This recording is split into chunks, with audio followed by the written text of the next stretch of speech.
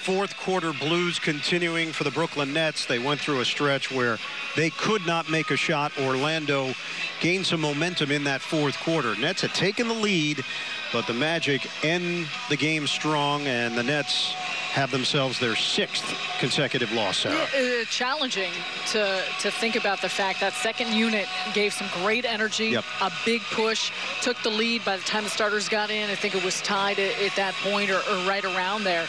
And then once again, we saw some of the same tendencies that have popped up throughout the course of the fourth quarter for this Nets team as of late. An inability to score and knock down shots and not getting stops at the other end. And I think overall this game, the fact that the Nets shot just over 21 percent from three, 33% from the floor. Orlando is a very good defense. Give them credit, but the Nets got open looks, clean looks, not able to cash in, and, and now it's back to the drawing board for Kenny Atkinson and this Nets group. Leading the rally for Brooklyn off the bench, Timothé Luwawu-Cabarrot and Dzanan Musa, who provided a bit of a, a burst for Brooklyn. Uh, ultimately, starters return in the fourth quarter. Nets just did not have many answers on offense, and you know, problem for the Nets. Doesn't really matter who the opponent is. At this stage, you're trying to figure some things out.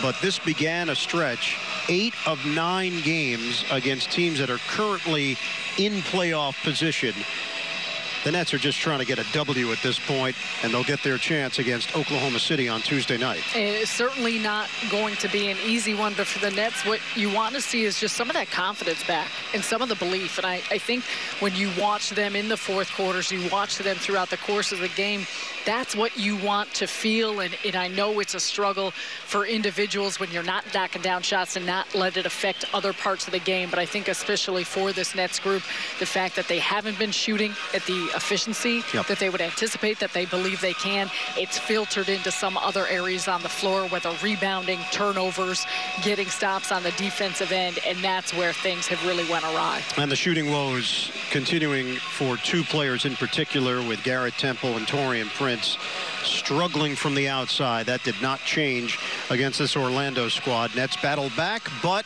in the fourth quarter, the Magic get it done behind a career night from Markelle Fultz. And it's back home now to play the Thunder, Chris Paul, Shai Gilgeous-Alexander and company in Barclays Center.